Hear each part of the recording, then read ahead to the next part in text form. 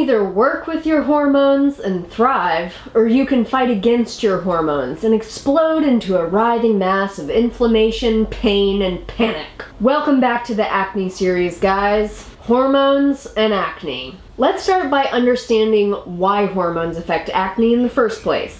Most commonly, it's noted that androgen receptors, i.e., sex hormone receptors, in the skin trigger the production of more oil when they're stimulated.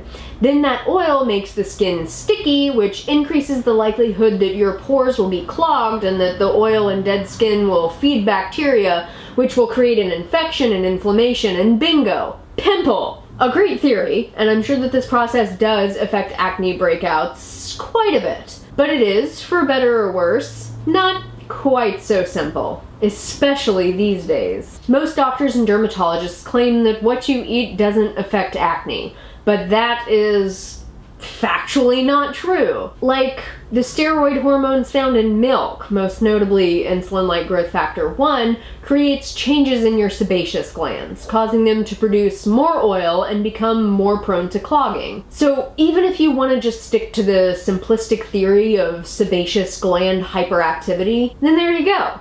What you eat matters. And just to be clear, I'm talking about organic, artificial hormone free, grass fed, well loved dairy. The horrible effect dairy has on your skin is fully capable of standing on its own. So we don't even have to begin to discuss the shit show that is bovine growth hormone use. When we talk about hormones and cyclical acne breakouts, the usual suspects associated with that are estrogen and testosterone, which stimulate sebaceous glands in your skin, increasing oil output. What most people don't realize is that the level of sex hormone coursing through your blood is very sensitive to diet. What should be obvious, but seems to escape the cognitive firing of most healthcare practitioners, is that when we eat dead mammals and their lactations, we are ingesting mammalian hormones. This exogenous hormonal input affects how our own hormones function. Additionally, animal-based foods and many processed foods are high in fat. When we eat high levels of dietary fat,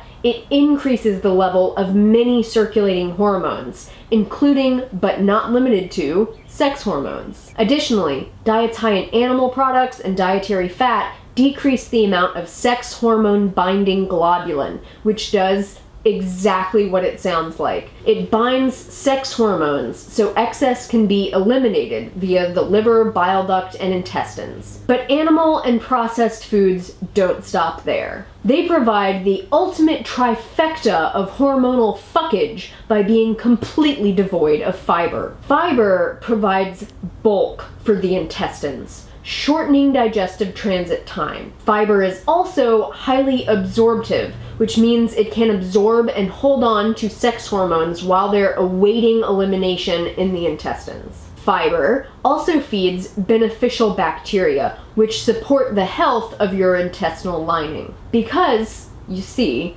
when bound sex hormones are hanging around in your intestinal tract, they can be unbound by pathogenic bacteria, and those freshly unbound hormones are reabsorbed into the bloodstream, where they're able to wreak more havoc until your poor, burdened liver has to bind them and filter them out again. So in addition to this mess, dietary fat also highly affects insulin sensitivity. When you eat fat, fat gets into your bloodstream and it sticks around for about 24 hours. In addition to the nightmare that this creates for arterial flexibility, liver and kidney function, and any attempt at performing lymph pumping cardio, it also inhibits the ability of insulin to bind to blood glucose and ferry it into the cells where it's needed. So when you eat a high fat diet, you end up with high blood sugar, which triggers your body to release excessive amounts of insulin. If you've watched my other videos or you know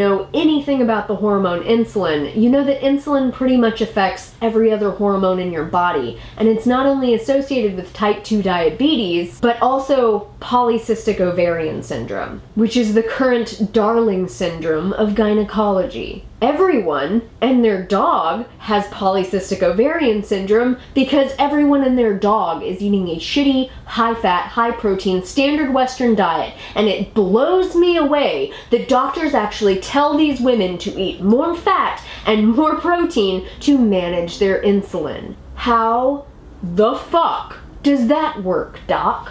What goes through their mind?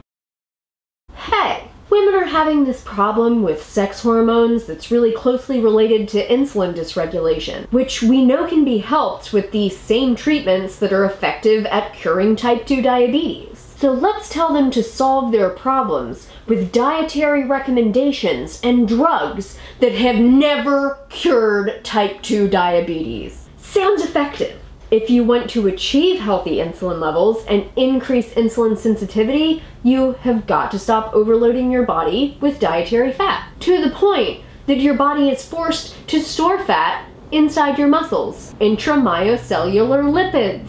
It's a thing. And it's a problem. You know how you buy a steak from a feedlot cow and it's full of marbling? Yeah, that's what your muscles look like. It causes insulin resistance. It's bad news. The science is clear, and I expect the medical establishment and our outdated, brainwashed, bribed doctors will catch on any decade now. Until then, Dr. Neal Barnard's work and literature on diabetes treatment is phenomenal. If you have questions about diabetes and, by proxy, polycystic ovarian syndrome, read his work. Alternately and additionally, check out Dr. Greger's chapter on diabetes and how not to die. Now, I know that what I just said is enough to prove that what we eat affects our hormones and that affects chronic acne, but God help me, the hormonal carnage doesn't stop there. Animal based foods that are rich in fat also increase the production of prostaglandins, which are fat based compounds that have hormone like effects in the body. So, prostaglandins can be either inflammatory or anti inflammatory. Guess which ones animal foods create? You're absolutely right. Inflammatory prostaglandins. How did you know? A big producer of these inflammatory prostaglandins is arachidonic acid, which is a polyunsaturated omega-6 fat which is found abundantly in muscle tissue, also known as meat. Whether or not this arachidonic acid causes inflammation is dependent on a few factors, and the most important of which is the prevalence of oxidation, which implies it's very important to consume plenty of antioxidants. Another cause of increased inflammatory prostaglandin production from arachidonic acid is chronic immune stimulation, as is achieved from partially digested proteins and bacterial toxins entering the bloodstream via compromised intestinal membranes, or what we'll remember is referred to as leaky gut. So not only does arachidonic acid increase inflammation and thus acne, it also contributes to painful menstrual cramps and increased pain from arthritic or inflammatory conditions. So, if you're dealing with issues like hormonal acne, inflammation, painful periods, or arthritis, you would be wise to eliminate the main sources of arachidonic acid from your diet. First and foremost, that means animal foods. And some plant foods that are high in excessive amounts of omega-6 fatty acids, like a lot of nuts and seeds. It's also wise to be mindful that the fat-rich foods you're eating are already oxidized and rancid. The fats in dead animals especially, which whether or not you are aware, those animals have been dead for at the very least several days to several months, are not reliably unoxidized. And since animal flesh has less antioxidant power than even the crappiest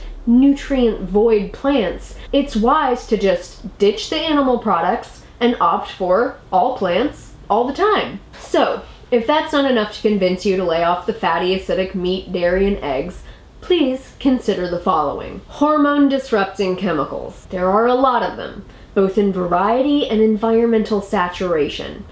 I wish I could say that we could choose to avoid these chemicals completely through mindful lifestyle adjustments, but unfortunately, as DDT saturated polar bears will tell you, That's no longer an option. Our environment is too saturated. These chemicals are too pervasive. I mean, you go to the grocery store and they hand you your receipt and you actually absorb BPA through your skin from the paper. We're exposed to plastics nonstop car exhaust, chemicals from our clothes, and or laundry detergent seep into our bloodstream all day long. So instead of ending all exposure, we have to focus on reducing exposure and trying not to freak the fuck out when exposure is unavoidable. Because hormonally speaking, freaking the fuck out is like way bad. So the concentration of a lot of these types of chemicals, like phthalates, BPA, DDT, PCBs, and other chemicals found in pesticides, herbicides, fungicides, etc., increase exponentially as they move up the food chain. It's called bioaccumulation. It's why predatory fish have more mercury and PCBs in their flesh than herbivorous fish, and why polar bears and bald eagles accumulate more DDT residue from their food source the top of the food chain is a bad place to be when you're talking about bioaccumulation. And since many of these chemicals are stored in the flesh and fat, eating a fleshy, fatty diet is a sincerely bad idea. We raise and purposely fatten our food animals by feeding them chemical soaked GMO feed and the ground up carcasses of other industrially raised chemically fed animals.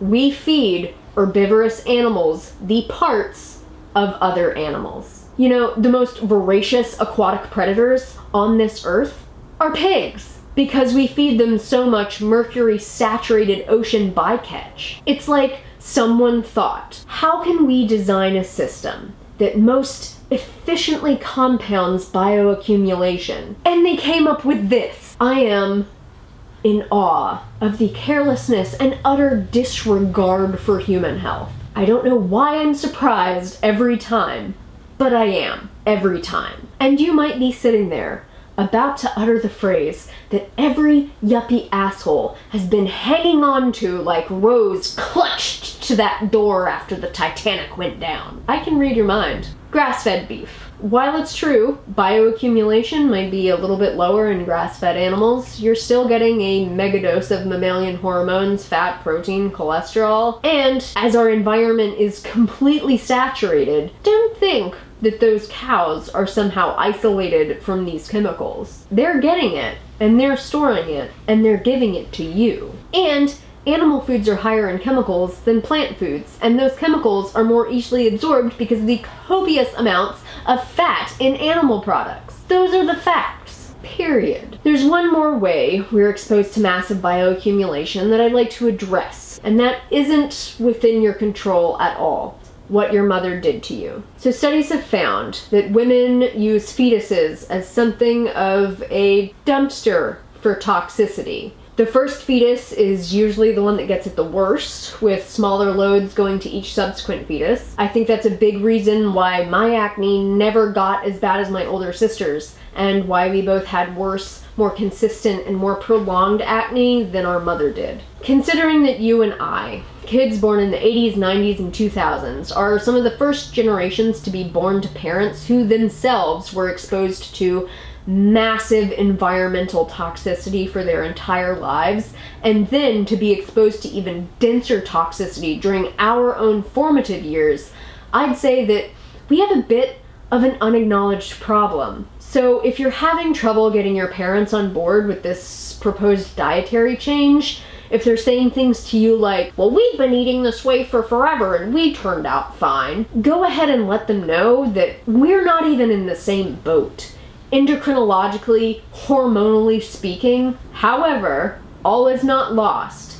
It's absolutely vital we make the changes that we can to control further exposure to these hormone disrupting and liver and kidney overloading compounds. By a long shot, the most effective, easiest, and cheapest change we can make stop eating animal foods. Stuff your face with whole plant foods. For hormonal health, we have to eat low fat diets. Think of it this way we evolved eating strictly low fat. As we evolved, even if we were including animal foods in our diet regularly, which is questionable, Those animals were wild animals and they were very, very lean. They were low in fat. We're talking about in the single digits of body fat percentage. We were not drinking the milk of confined fattened animals. That milk was not going through plastic tubing. And realistically, we weren't drinking any milk beyond weaning age. We were not consuming refined oils. Processed, nutrient void, high fructose corn syrup loaded junk food did not exist.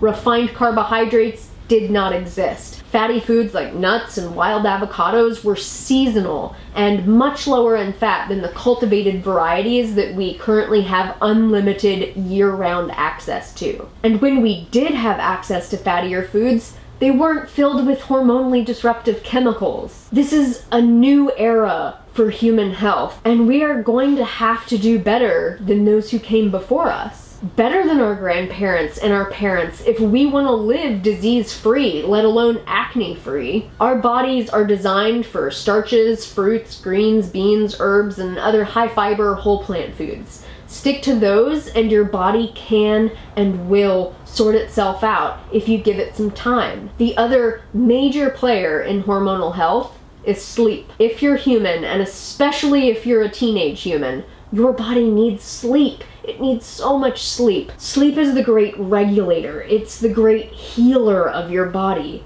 And there's no way around that. I think it's a travesty that we live in a world that has marginalized and demonized sleep. A world where high school and college students are essentially forced by scholastic requirements and socializing into sleep deprivation because it's draining us earlier and earlier. It's setting us up for physical and emotional breakdowns. It's seriously not cool. All right, guys, I'm actually tired and I think my voice is about to give out. And I know you came here because you have pimples, and maybe I totally overloaded you in a way that was completely unnecessary. Maybe I could have just talked to your vanity, but I refuse to talk down to you. And I feel like you're better off for it because I want you to understand your body is intricately connected and the inputs you give it matter. Your chronic acne breakouts are symptoms of very deep yet very fixable pathologies. And what could be more empowering